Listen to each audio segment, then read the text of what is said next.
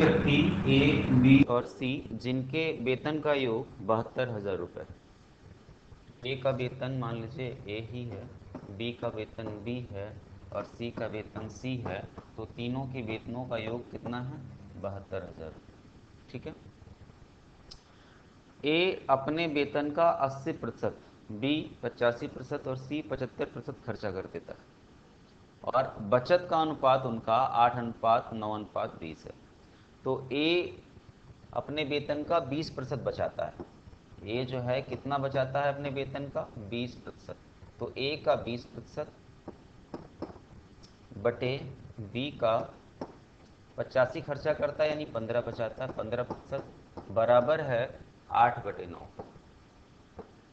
ठीक है? ये दिया हुआ है ए का बीस प्रतिशत बटे बी का पंद्रह प्रतिशत बराबर है आठ बटे नौ के। सॉल्व कर लें तो प्रतिशत से प्रतिशत कट गया।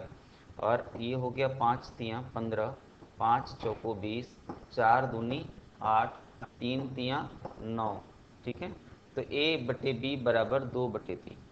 ए अनुपात बी बराबर दो अनुपात तीन आ गया। यानी आप कह सकते हैं कि यहाँ से आपको निकल के आया कि b बराबर कितना होगा। B बराबर हो जाएगा तीन ए बटे दो, थ्री ए अपॉन टू। ठीक?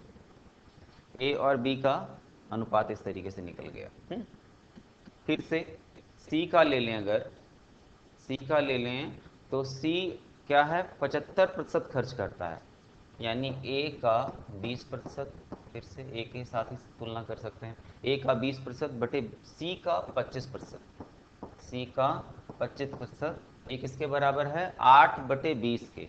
ए का आठ लेंगे ना और बी का 20 सी का 20 सॉरी सी का 20 तो आठ बटे 20 के बराबर है। ठीक? अब ये पाँच से अगर हम काटे तो पाँच पचे पच्चीस, पाँच चौको बीस, चार से काटे तो चार दूनी, आठ। दो से काटे तो दो दहम बीस। ठीक है?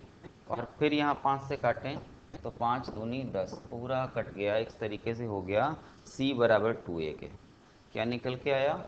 यहाँ से सी बराबर टू ए के। ये चीज़ें निकल के आ गई। अब ये सारा वैल्यू अगर हम रख दें, किसमें?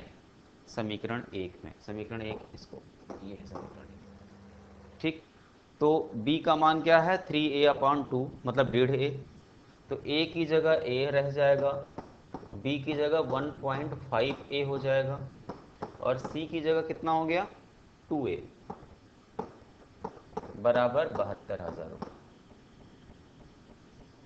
सबको जोड़ लें तो a प्लस दो ए तीन ए और डेढ़ ए साढ़े चार ए साढ़े चार ए बराबर बहत्तर हज़ार। तो ए बराबर कितना हो गया? ए बराबर बहत्तर हज़ार बटे साढ़े चार।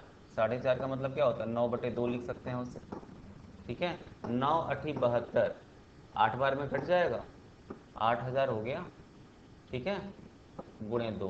तो आठ दूनी सोलह हज़ार। सोलह हज़ार आपका उत्तर आ गया। ए का वेतन कितना था? यही पूछा गया था तो ये आपका उत्तर आ गया सोलह हज़ार।